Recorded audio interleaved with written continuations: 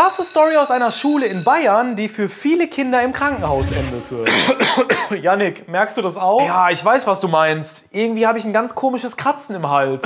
Mann, was ist das? Ah, ich weiß nicht. Aber mir wird gerade irgendwie total schwindelig. Kevin, wir müssen schnellstens so viele Betten freimachen, wie wir können. Da kommen gleich eine Menge Neuaufnahmen. Wie jetzt? Hier zu uns? Was ist denn passiert? Naja, es gab einen Zwischenfall hier nebenan in der Schule. Da beklagen einige Schüler, dass sie keine Luft mehr bekommen und Reizhusten haben.